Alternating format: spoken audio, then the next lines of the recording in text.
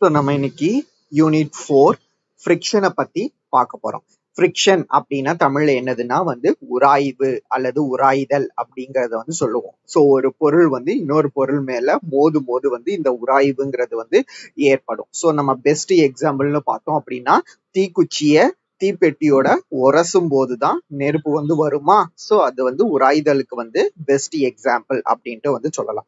இந்த சாப்டர் முழுக்கவே நம்ம பாடிஸ் அப்படிங்கிற இந்த வார்த்தையை வந்து பார்ப்போம். பாடி அப்படின்னா என்னதுன்னா வந்து ஏதோ ஒரு பொருள் அப்படிங்கிற மீனிங் அது வந்து டேபிளா இருக்கலாம் சேரா இருக்கலாம் பெஞ்சா இருக்கலாம். ஸோ இத மாதிரியான பொருளை தான் வந்து நம்ம இந்த சாப்டர்ல வந்து பாடிஸ் அப்படின்ட்டு படிப்போம். So uh, there are no bodies which are perfectly smooth all are rough to some extent so எல்லா பாடிஸுமே வந்து பர்ஃபெக்ட் ஸ்மூத்தா இருக்கும் அப்படின்ட்டு சொல்ல முடியாது. எல்லா பொருள்கள்லையுமே வந்து ரஃப்னஸ் அப்படிங்கிறது வந்து இருக்கும். ஃபார் எக்ஸாம்பிள் இப்போ வந்து ஒரு டேபிளை வந்து நம்ம ஒரு இழுக்கிறோம் அப்படின்னா அது இழுக்கும் போது தரையோட உராயுமா உராயும் போது தான் வந்து ஒரு சவுண்டு வந்து நமக்கு கேட்கும். ஸோ அந்த சவுண்டை தான் வந்து நம்ம என்னன்னு சொல்லுவோம் அப்படின்னா ஃப்ரிக்ஷன் அப்படின்ட்டு சொல்லுவோம். ஸோ அந்த தரையில இருக்கிற அந்த ரஃப்னஸ் தான் வந்து அந்த ஃப்ரிக்ஷன் ஏற்படுறதுக்கு வந்து காரணமா இருக்குது.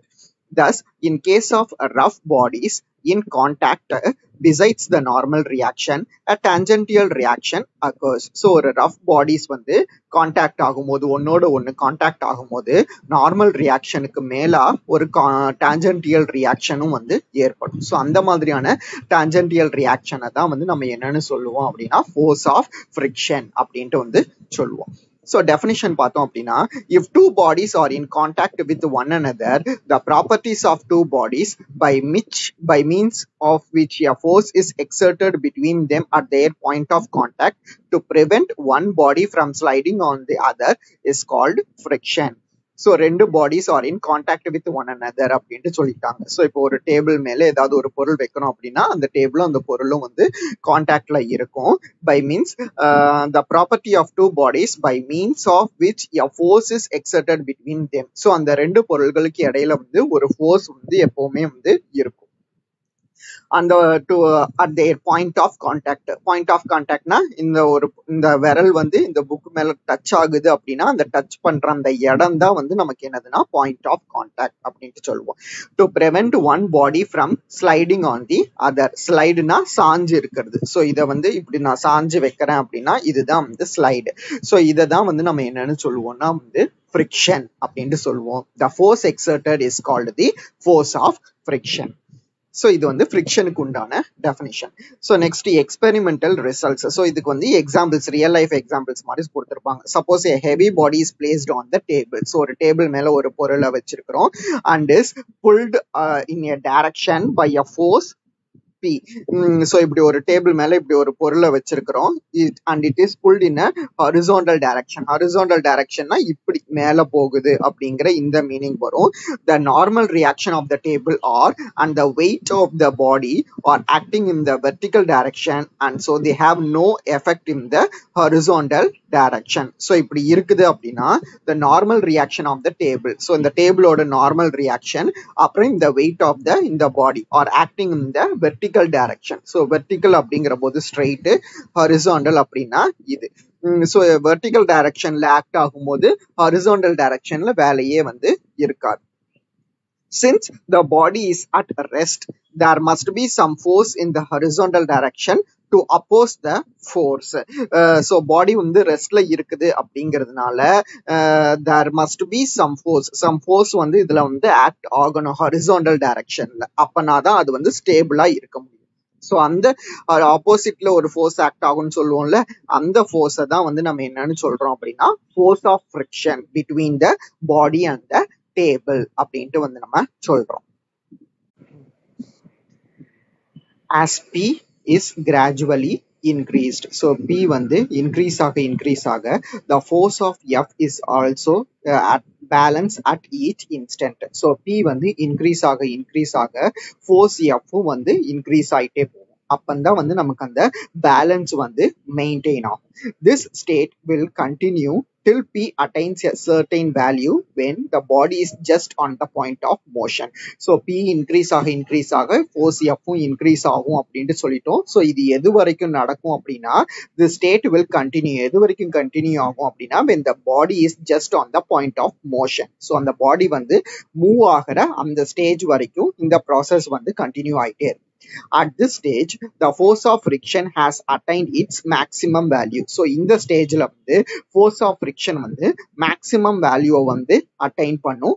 அந்த இடத்துல அந்த ஈக்குலிபிரியம் பொசிஷன்ங்கிறது வந்து உடையும். ஸோ ஈக்குலிபிரியம்ங்கிறது என்னது அப்படின்னா வந்து கான்ஸ்டன்ட் பொசிஷன் அப்படின்ட்டு சொல்லுவோம். ஸோ அந்த ஈக்குலிபிரியம் பொசிஷன் உடைஞ்சு பார்ட்டிகல் வந்து மூவ் ஆக ஆரம்பிக்கும்.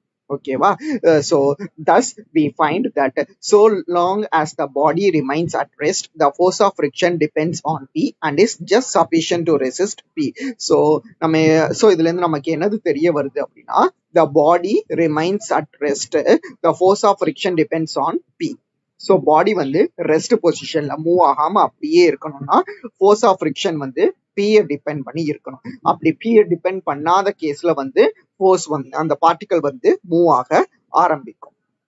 ஸோ இந்த ஃப்ரிக்ஷனை தான் வந்து நம்ம என்னன்னு சொல்லுவோம் அப்படின்னா வந்து ஸ்டாட்டிக்கல் ஃப்ரிக்ஷன் அப்படின்ட்டு சொல்லுவோம். ஸோ அந்த மூணு டைப்ஸ் ஆஃப் ஃப்ரிக்ஷனை தான் வந்து நம்ம நெக்ஸ்ட் செக்ஷன்ல வந்து பார்க்க போறோம். ஸோ இதுல என்னென்னது உண்டு அப்படின்னா statical friction dynamical friction limiting friction அப்படின்னு மூணு டைப்ஸ் உண்டு. ஃபர்ஸ்ட் வந்து statical friction when one body in contact with another is in equilibrium so ஒரு பாடி இன்னொரு பாடியோட கான்டாக்ட்ல இருக்கு. அந்த இன்னொரு பாடி வந்து ஈக்குலிபிரியம் பொசிஷன்ல இருக்கு. ஈக்குலிபிரியம்னா அசையாம மூவ் ஆகாம அப்படியே இருக்கு. அப்படின்னா த ஃப்ரிக்ஷன் எக்ஸர்டட் ஸோ ஃப்ரிக்ஷன்னா வந்து உராய்வு. அந்த உராய்வு செலுத்துறோம்ல அந்த செலுத்தப்படக்கூடிய உராய்வு அதுவே வந்து போதுமானது. எதுக்குன்னா is just sufficient to maintain equilibrium and is call the statical friction so ஒரு பாடி வந்து இன்னொரு பாடியோட கான்டாக்ட்ல இருக்குது. அந்த பாடி வந்து ஈக்குலிபிரியம் பொசிஷன்ல இருக்கு அப்படின்னா இந்த அப்ப அந்த இடத்துல வெளிப்படக்கூடிய உராய்வை தான் வந்து நம்ம என்னன்னு சொல்லுவோம் அப்படின்னா ஸ்டாட்டிக்கல் ஃப்ரிக்ஷன் அப்படின்ட்டு சொல்லுவோம்.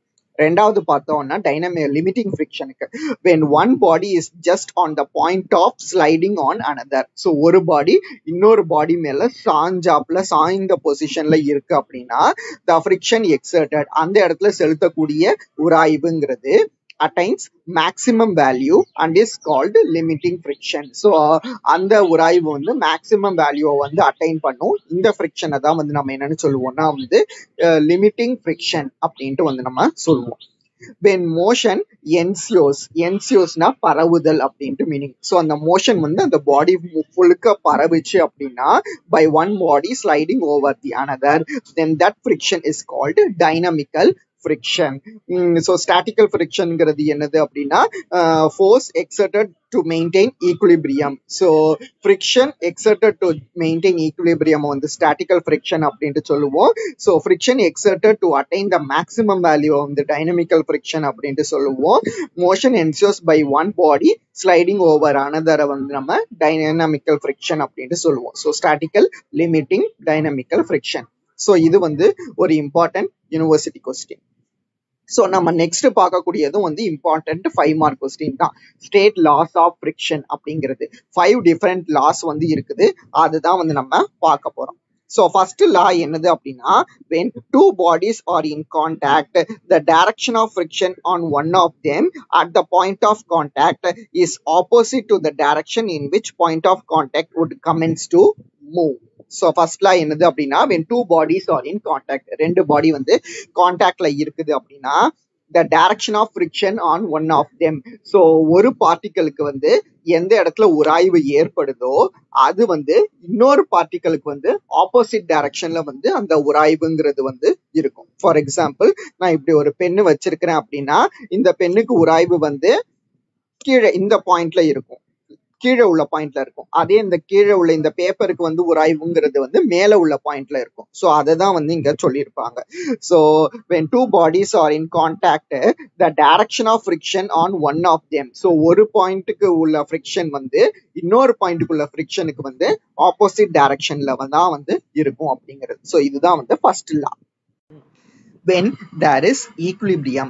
So equilibriumனா என்னன்னு தெரியும்ல? பார்ட்டிக்கல் வந்து மூவ் ஆகாம இருக்கணும். அதுதான் வந்து ஈக்குலிபிரியம் பொசிஷன் அப்படின்ட்டு சொல்லுவோம்.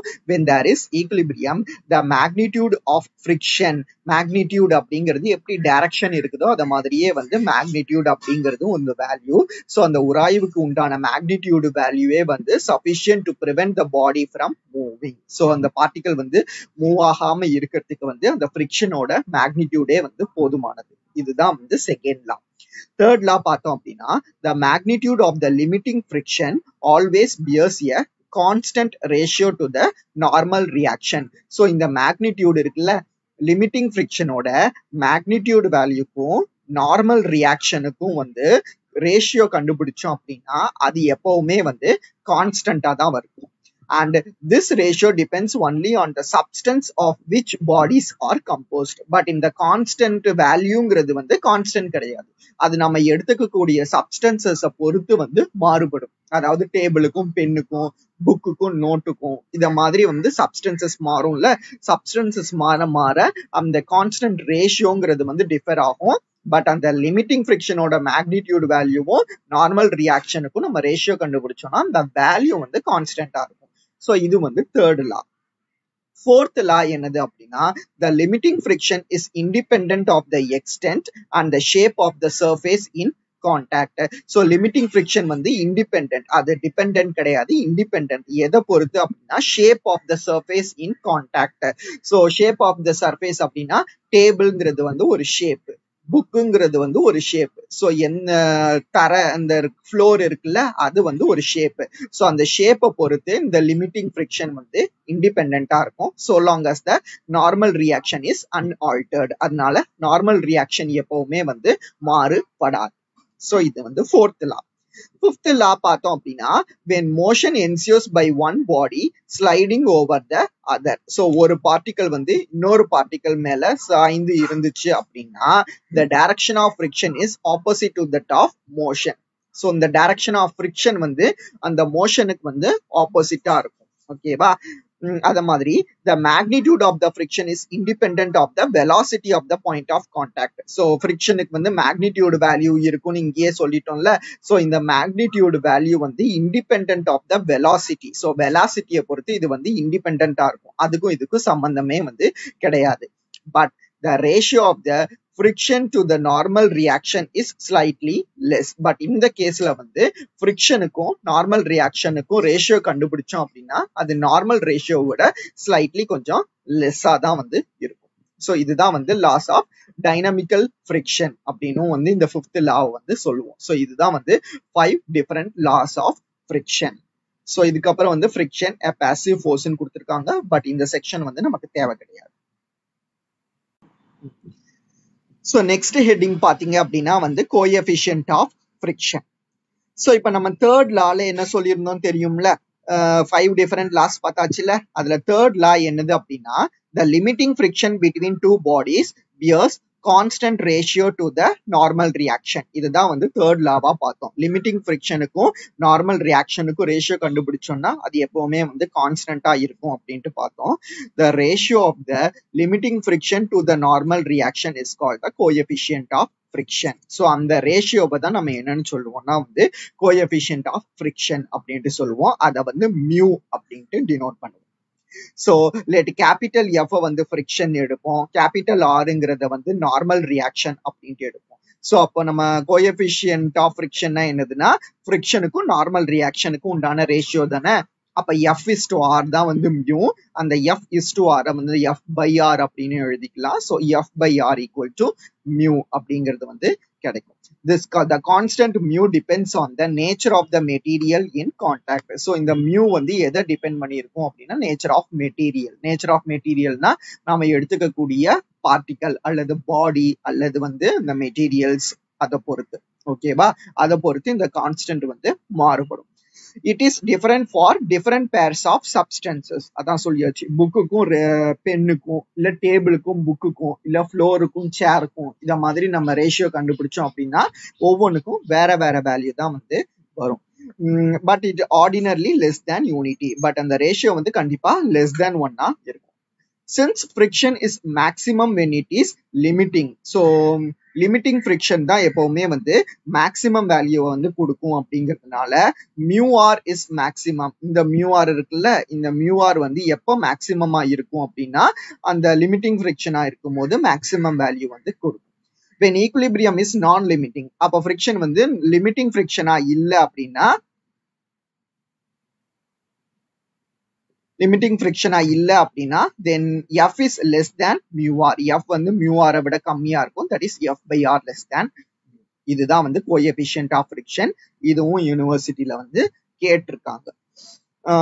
யூனிவர்சிட்டியில கேட்டிருக்காங்க அப்படின்னா coefficient of friction angle of friction அந்த லாஸ் ஆஃப் ரிக்ஷன் இது மூணும் சேர்ந்து ஒரே கொஸ்டினாவே வந்து கேட்டிருக்காங்க. ஸோ இது மட்டும் வந்து தனியா கேட்க மாட்டாங்க.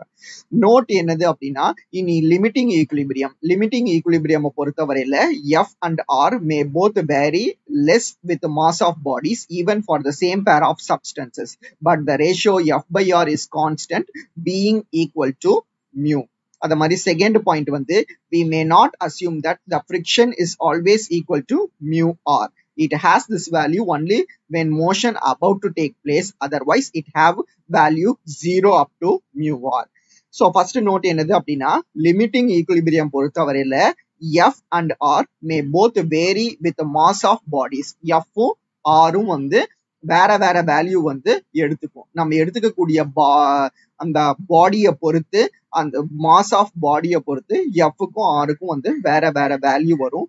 Even for the same pair of substances so நம்ம சேம் பேர் ஆஃப் சப்ஸ்டன்சஸ் ஒரு புக்கு மேலேயே இன்னொரு புக்கு வச்சாலுமே வந்து அந்த கேஸ்லயுமே எஃப்க்கு வேற வேல்யூ ஆருக்கு வேற வேல்யூ அப்படிங்கிறது தான் வரும். பட் எஃப் பை ஆருங்கிறது எப்பவுமே வந்து கான்ஸ்டன்டா தான் வந்து இருக்கும். இதுதான் வந்து ஃபர்ஸ்ட் நோட்டு அதாவது வேற வேற சப்ஸ்டன்சஸா இருந்தாலும் சரி சேம் சப்ஸ்டன்சஸா இருந்தாலும் சரி எஃப்க்கு வேற வேல்யூ ஆருக்கு வேற value but F by R வந்து கான்ஸ்டன்ட் ரெண்டாவது நோட் என்னது அப்படின்னா we must not assume that the friction is always equal to mu R so வந்து ஃப்ரிக்ஷனோட வேல்யூ வந்து மியூ ஆர் தான் அப்படின்ட்டு எல்லா கேஸ்லயுமே வந்து நம்மளால அசியூம் பண்ண முடியாது. சில கேஸ்ல ஃப்ரிக்ஷனோட வேல்யூ வந்து ஜீரோவாவும் இருக்கிறதுக்கு வந்து வாய்ப்புகள் வந்து இருக்கு. இதுதான் வந்து செகண்ட் நோட் இது வரைக்கும் இந்த கிளாஸ்ல பாருங்க.